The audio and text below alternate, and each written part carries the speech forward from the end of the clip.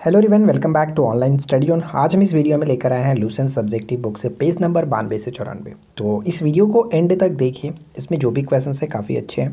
तो एंड तक देखिए और क्वेश्चन को अटेम्प्ट करिए और बताइएगा कितना सही कर पा रहे हैं आप।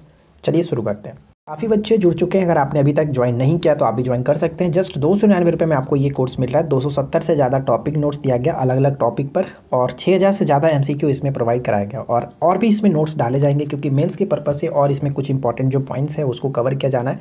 तो अगर आपने ज्वाइन नहीं किया तो ज्वाइन कर सकते कल इसका ऑफ़र का लास्ट डे है, जो कि तीन से पाँच फरवरी दिया गया था। तो जल्दी से ज्वाइन करिए।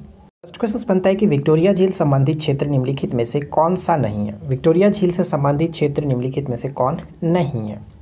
तो विक्टोरिया झील जो है, वो तीन देशों से घिरा हुआ है, केन्या, युगांडा और तंजानिया। इसके अंतर्गत नाइजीरिया नहीं आता है तो यहाँ पे हम ऑप्शन डी को टिक करके आगे बढ़ेंगे।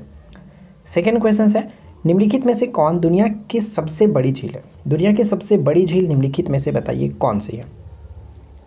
तो यहाँ पे सही आंसर क्या बनेगा? हम ऑप्शन बी को टिक करेंगे। कैस्पियन सागर कैस्पियन सागर ऑप्शन बी बिल्कुल सही होगा। और नाम से लग रहा होगा कि ये महासागर है एक्चुअली ये झील है। इसको सागर क्यों कहा जाता है? क्योंकि इसका जो क्षेत्रफल है वो बहुत ज़्यादा है। ज़्यादा होने की वजह से इसको एक सागर का नाम दे दिया गया कैस्पियन सागर एक्चुअली ये कैस्पियन झील ही है, ठीक है? तो ये दुनिया की सबसे बड़ी झील है। और मीठे पानी की झील की बात करें तो वहाँ पर आपका सुप्रियर झील होता है, ये याद रखना। क्लियर आगे बढ़ते हैं। नेक्स्ट क्वेश्चन की सुप्रियर झील से संबंधित क्षेत्र निम्नलिखित में से कौन सा है? सुप्रियर झील से संबंधित क्षेत्र कौन कौन सा है? एक तो अमेरिका है, दूसरा कनाडा, यानी सही आंसर ऑप्शन डी हो जाएगा। मीठे पानी की सबसे बड़ी झील है सुपीरियर झील। टांगानिका झील से संबंधित क्षेत्र कौन सा है? टांगानिका झील। तो ध्यान रखिएगा टांगानिका झील के संबंधित बात करें तो सही आंसर क्या होगा? ऑप्शन, हम डी को टिक करेंगे प्रोत सभी, क्योंकि तंजानिया, जाम्बिया और जारी, ये तीनों इसके अंतर्गत आता है। और टांगानिका जो झील है, वो विश्व की सबसे लंबी मीठे पानी की झील है। सुपीरियर झील सबसे बड़ी झील है, लेकिन ये आपका मीठे पानी की सबसे लंबी झील है तो इसे आपको याद राइट? चलिए, अगला क्वेश्चन क्वेश्चन नंबर फाइव निम्नलिखित झील और उससे संबंधित क्षेत्र के संबंध में कौन सा मिलान सही है? कौन सा मिलान सही है? यहाँ पे मैंने वही चीज़ों को इंक्लूड किया इस पूरे वीडियो में जो एग्ज़ाम्स के लिए इंपॉर्टेंट है। बाकी आप बुक को रटते रहेंगे तो उससे कोई फ़ायदा नहीं होता। वही चीज़ पढ़िए जो एग्ज़ाम्स के लिए इंपॉर्टेंट है, जो पूछे जाने की चांसेस होता है, जो एक्सपेक्टेड होता है। ठीक है? मैं आपको होमवर्क दे देता हूँ ताकि आप अच्छे तरीके से उसको एक बार पढ़ कर आएँगे और यहाँ पर आप वीडियो के थ्रू रिविजन्स करेंगे तो आपको वो ज़्यादा याद होता है। क्या कह रहे हैं? मिलान हमें करना है। बैकाल झील का संबंध, रूस से बिल्कुल सही। इरी झील का संबंध यूएसए और कनाडा के साथ बिल्कुल सही। ओंटोरियो झील का संबंध भी यूएसए और कनाडा से है तो सभी के सभी बिल्कुल सही है। तो option D will be right answer Baikal झील, दुनिया की सबसे गहरी झील है, इसे याद रखिएगा। अगला प्रश्न है, विश्व के प्रमुख पर्वत शिखर के संबंध में निम्न में से कौन सा मिलान सही है? तो देखिए कौन किसके साथ सही तरीके से मैच कर रहा है। कंचनजंगा, भारत और नेपाल बिल्कुल सही। लाहत से नेपाल, ये भी सही। राकापोसी, पाकिस्तान, ये भी सही। तो यहाँ पे हम देखें तो सभी के सभी मिलान सही है। D will be a right answer next question अगला प्रश्न ये कह रहा है कि तिरिचमीर पर्वत जो है तिरिचमीर पर्वत शिखर किस देश में स्थित है? तिरिचमीर पर्वत शिखर का संबंध पाकिस्तान से होगा। Option D will be a right answer ठीक है? रुडोल्फ झील किस देश में स्थित है? रुडोल्फ झील। रुडोल्फ झील का संबंध हो जाता है केन्या से। और इसी के नाम से मिलता जुलता एक होता है रेंडियर झील। रेंडियर झील कैनेडा से, इसे याद रखिएगा। तो फ़िलहाल यहाँ पे करेक्ट आंसर ऑप्शन एक केन्या निम्नलिखित में से कौन ईरान की सीमा को स्पर्श करता है? ईरान की सीमा को स्पर्श करता है। पेड कोर्सेज में आपको दिया गया था कैस्पियन सागर से जो लगते हैं, वो देश कौन कौन से? तो मैंने आपको उसमें बताया कि पाँच देश लगते हैं और उन पाँच देशों का नाम क्या है? रूस, काजकिस्तान, तुर्कमेनिस्तान, अजरबैजान और ईरान। यानी ईरान की सीमा से कैस्पियन सागर लगता है। तो करेक्ट आंसर क्या हो जाएगा? ऑप्शन ए अगला प्रश्न देखिए। निम्नलिखित में से कौन सा झील जो है वो रूस में नहीं है? रूस से संबंधित नहीं रखता है कौन सा झील। ध्यान रखिएगा, आयर झील का संबंध ऑस्ट्रेलिया से आयर झील का संबंध ऑस्ट्रेलिया से लैडोगा झील, ओनेगा झील और बैकाल झील। ये तीनों आपका रूस से संबंध रखता है, ठीक है? तो इन तीनों को याद रखिएगा, सही आंसर हो जाएगा ऑप्शन ए आयर झील का संबंध ऑस्ट्रेलिया से अगला प्रश्न है कि टीटी काका झील का संबंधित क्षेत्र कौन सा है? टीटी काका झील जिसे हनीमून लेक के नाम से भी जाना जाता है, टीटी काका झील पेरू और बोलीविया तो ऑप्शन डी हुआ करेक्ट आंसर, ए और बी दोनों। निम्नलिखित में से कौन सा कथन सही है? निम्नलिखित में से कौन सा कथन सही है? चलिए पढ़ते हैं। बैकाल झील के पूर्वी भाग में ब्यूरेट नामक, जो कि जनजाति पाई जाती है, ब्यूरेट नामक जनजाति बिल्कुल सही है, पूर्वी भाग में। बैकाल झील विश्व की सबसे गहरी झील है, रूस में पड़ता है, ये भी बिल्कुल सही। तो राइट आंसर क्या बनेगा? ऑप्शन डी, उपरोक्त सभी कथन सही है। अगला पॉइंट, निम्नलिखित में से कौन सा झील विश्व की सबसे लंबी मीठे पानी की झील है? सबसे लंबी मीठे पानी की झील है। तो अगर आपने ऑप्शन ए को टिक किया तो आपने गलती की है, क्योंकि सबसे लंबी पूछा जा रहा है, करेक्ट आंसर होगा टांगानिका झील। टांगानिका झील कहाँ पे इसका संबंधित क्षेत्र क्या है? टांगानिका जो झील है तंजानिया, जाम्बिया और जायरे। ये ध्यान रखिएगा तो सही आंसर हो जाएगा ऑप्शन सी। अगला क्वेश्चन निम्नलिखित में से कौन सा मिलान सही है? कौन सा मिलान सही है? विश्व की सबसे बड़ी मीठे पानी की झील, सबसे बड़ी मीठे पानी की झील, सुपीरियर झील। और विश्व की सबसे बड़ी खारे पानी की जो झील होता है, वो कैस्पियन सागर है। यानी दोनों के दोनों बिल्कुल सही है। C will be right answer A और बी दोनों होगा। दोनों सही है। निम्नलिखित में से किसको पर्ल ऑफ़ साइबेरिया कहा जाता है। पर्ल ऑफ़ साइबेरिया के नाम से किसे जाना जाता है? तो राइट आंसर बनेगा। पर्ल ऑफ़ साइबेरिया, जो कि बैकाल झील को कहते हैं। ऑप्शन ए हुआ करेक्ट आंसर चलिए next question question number sixteen किस देश की सीमा कैस्पियन झील से नहीं मिलती है? तो कैस्पियन झील से संबंधित पाँच देशों के अंतर्गत हम लोगों ने क्या क्या नाम देखा था?